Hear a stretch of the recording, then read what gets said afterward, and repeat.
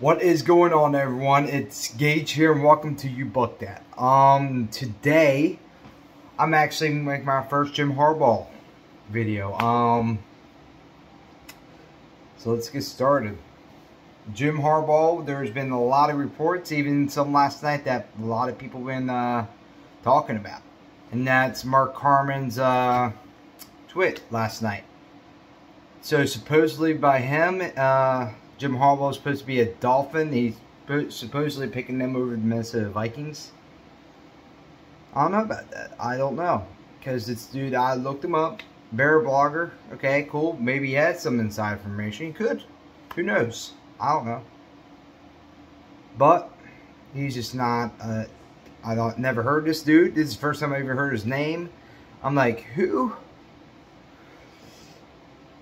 Uh, yeah, I'm uh, so, yeah, so I was very skeptical. I'm like, eh, I don't know, man. Jim Harbaugh, I've been hearing reports he's very interested in the Minnesota job. So I don't think he would pick, if Vikings didn't hire him, they said, no, you're out. Then I believe he might take the Miami job because I know Stephen Ross has some connections to him. So I, uh, I'd be like, okay, then maybe, maybe he could if uh, he, if the Vikings choose him, uh, Ryans over him, then sure. But no, I have heard reports today that Jeremy Fowler, the ESPN reporter, has said that actually that Harbaugh's had significant interest in the Vikings job. And the Vikings, after the interview, reports that they felt that Harbaugh is ready to come out of the NFL and is a big part of the, the head coaching mix. So we'll most likely see an interview for him this week. So no, I don't think it is gonna a report's gonna happen today. I think end of the week, I think there will something happen. Maybe by Saturday, Friday. But yeah, I don't think that's gonna happen. Miami is definitely in the mix for Harbaugh. I think it's gonna come down to the Vikings or Miami for the head coaching job for Harbaugh, but no. Mm -mm. I'm gonna choose a more reliable source, even like Jeremy Flower. Flower, that's a dude I heard of a few times, so that's a more reliable source. So no. So yeah, check your resources, check your information before, uh, you know, trusting a source. Because even if the dude, even like Purple for Win, I gotta give him credit for this because he gave me a lot. Because I, I was starting to believe it until I watched Purple for the Win's video. He, uh, even if he, it doesn't matter if he didn't get it. There's no loss in it because he doesn't have a lot of credibility. And so it's, you know, like someone like Adam Schefter or Ian Rapoport, they are a little more reliable sources and they have a lot more to lose than um, someone that's upcoming. So yeah, I, uh, I'm to choose them. I'm to choose a more reliable source.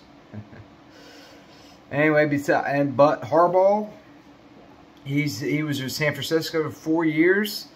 Him and uh, Cam had, uh, they crossed roads for about two years together. So they worked together in San Francisco. Cam had a lot of experience with 49ers. He was there until 2019 and spent two years with the Cleveland Browns. And Harbaugh is, uh, he's 44 and uh, 19 and 1. Pretty good record, man. He's never had a losing record in his career. So he, so I believe Vikings, two, I believe uh, Ryans and uh, Jim Harbaugh should be the top. That's, that O'Connell could be a possibility. But even if the, even if he was a interested, it's gonna be two weeks till they even have a chance to hire him. Oh no, guys, that doesn't look too good. And Raheem Morris, don't. That dude, I we saw what he was as a head coach. I don't think we need to see experience like that again. The Vikings, uh, yeah, yeah, they need uh, they need a leader. And Raheem Morris, I'm not impressed with his defense play calls or anything like that. He kind of reminds me of Todd Bowles, to be honest. But yes, that's my take on Harbaugh. And I personally, I've been a Harbaugh fan for a while, and uh, I'd be I'd be excited. The only thing is his energy. That's the only thing that really messed him up before. But people evolve. It's eight years ago that happened, and there wasn't. And and actually, Patrick Willis liked him. He's like, yeah, man, this dude's a great coach. Even uh, even a respectful running back, Frank Gore, Gore's like, yeah, that's my dude. So yeah, I take those guys' words over some other players that are, you know, not very known. So that's my take on Harbaugh. If he's with the Vikings, they're going they're going to be a Super Bowl contender. Mark my words on that. But on to the next business. The Bucs, because this is the Bucs channel after all. Um, so Tom Brady has not officially retired, but I what Greg Auman said, he says it it hasn't officially he hasn't officially said it, but there's a leak within uh, with his close group. Um, it's just a matter of when could be, possibly. We could we could both be you know we could be wrong. If I'm you know, and uh, yeah I don't know who knows. Tom Brady could be pissed about this. Like hey man, I'm coming back just because you guys said I was going to retire. I don't think he's going to base a decision on that, but I think uh, Tom Brady, if I'm putting my opinion out there, I think he's retired. what else does he have to play for? He's won seven Super Bowls, one with the Bucs. He's won a Super Bowl in his own stadium. The only this, if he won Super Bowl, he would have came back because my because he's he loves records, and he would have tried to do something no one ever has and won three straight Super Bowls. No one has ever done that. But since he didn't, I don't see him coming back. Uh, he's on everything. He played two years. He played. He got his 50 million guaranteed. That's it. This is perfect time to walk away. And he came with a 24 point deficit in the playoffs. What a better way to end than that. On his part, he did a great job. Had a career high in passing yards with 5,300 yards, 43 touchdowns, and 12 picks. It was just high. But if you look back at his career, that's all. It's always been like that. So yeah, I think Tom Brady's tired and. Uh, and Bruce Arians has mentioned door number two if Brady retires. And I'm just going to say this. I would love Russell Wilson. The dude's looking at trading. He would want to go to a team. I'd say, you know, I wouldn't mind having him. We would have to trade a good bit. Maybe two first-round picks. And, I don't know, maybe Kyle Trask if they want him. But, uh, but yeah, I would love to have him. I would love to have him. And Aaron Rodgers obviously a possibility. I just don't like his I'm not a big fan of his energy. I don't like his personality. I uh, I don't know. I just I'm not a big fan. He's a good quarterback. Don't get me wrong, but I just don't like the me, me, me attitude. I don't like that, bro. I just don't like it. People can say, "Oh no, he's for Steve. He's for Steve." I don't see that, man. I don't see that. And it's a reflection of how it's a reflection of the playoffs. He went one out.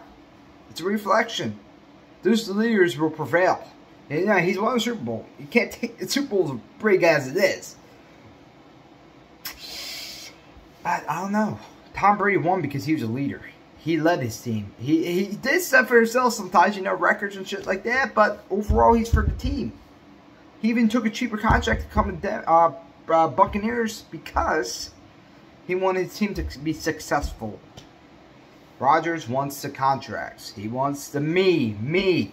I'm the reason the Packers are where they are. Me, me, me. I don't like that. Russell Wilson, I like, I respect his game, and he's never said, uh, he's always been respectful. Even when true rumors come out, he's like, I, I won't take out the possibility, but these are teams I would want if this happens. But I'm for the team. I would like to be a Seahawks for the rest of my life. That's a different talk for another time. But yeah, Russell Wilson is a leader. I love that. Deshaun Watson, that's a whole different scenario.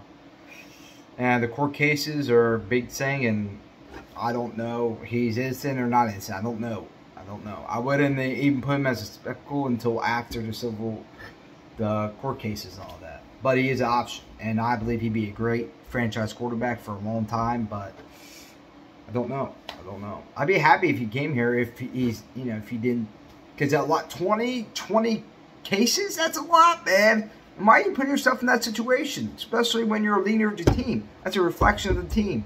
Because you're part of the team. Every time you put that uniform on, you're representing your team, and that's not a good look at all, man. I like, if he the Bucs, he would uh, he'd be on a slim thing, and I'm not sure if I want to risk two first round picks for a dude that could, if he fucks up one more time, that's it. We can't afford it. You know, so I'd rather give someone reliable. So Russell Wilson's number one for me. Rodgers number two, and uh, Deshaun Watson. Number, actually, I don't want to put Rodgers in the list. You know, I'd rather have almost wanting to. I'd rather put Watson over that dude at this point. And number three, hmm, it's tough. It's tough. If we, uh, I hate to say this because I watch Vikings, but maybe Kirk Cousins possibility.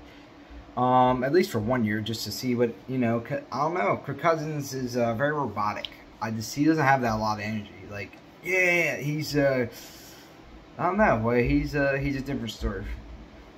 Uh, and uh, no, he just he, he's not he's not the dude that bring over the top. Like, yeah, let's go.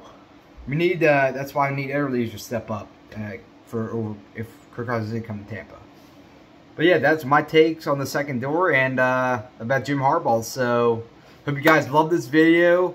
Like and subscribe, and uh, see you guys in the next video.